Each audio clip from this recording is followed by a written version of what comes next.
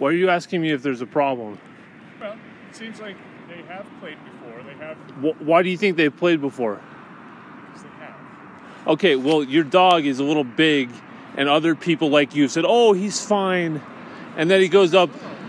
I don't understand why you're getting aggressive. I'm sorry, I don't mean to offend you or you up or rile you up or anything. Well, you just asked me if there was a problem. But clearly there is. Yeah, you do have a problem. What What is your deal?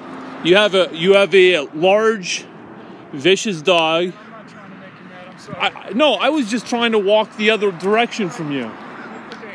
I would, and you're you're okay. Well, here's the situation. You saw the camera get turned on midway through, and he obviously saw that I was turning on the camera, so he changed his demeanor a little bit for the camera. So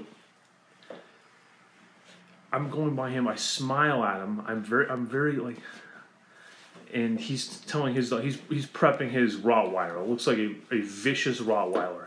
Can you be nice? He's, he's saying to his So he's doing his best to hurt to his so dog. I don't want if if he has to ask his dog to be nice, Uh-huh. then I don't need him playing with Charlie. Then you take Charlie and go away. That's what I did. Okay, no, you stay because you wanna record the video. Duh. No, and then he said, "Is there a problem?"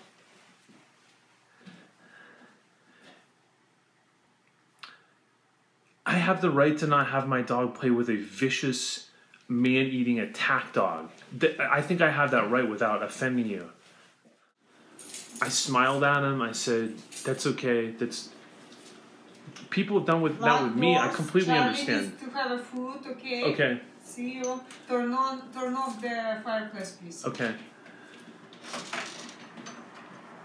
So what happens? These people have these vicious dogs, these pit bulls, these Rottweilers, these, Do- these Dobermans. I've seen it before, and they get offended that you won't let your small toy dog, lap dog, play with their vicious attack dog. I was trying to be polite about it. Now they may have played before, but it wasn't me. It was probably my wife and I was trying to be very nice about it. I don't want Charlie to get hurt, but they're oh, how could dare could you say you say my dog is a, a vicious or or imply that by not letting them play? You're telling your dog, you're asking your dog to be nice. Can you be nice? Even with their being nice, these even when these dogs are trying to be nice, they're so much bigger than him. They they just get him on the ground. They could hurt him easily. It's not worth the chance. And then he changed his demeanor when he got on when when the camera was turned on because I think I was a little bit more obvious about it than what I intended. So all of a sudden the camera goes on and he's Mr. Nice Guy.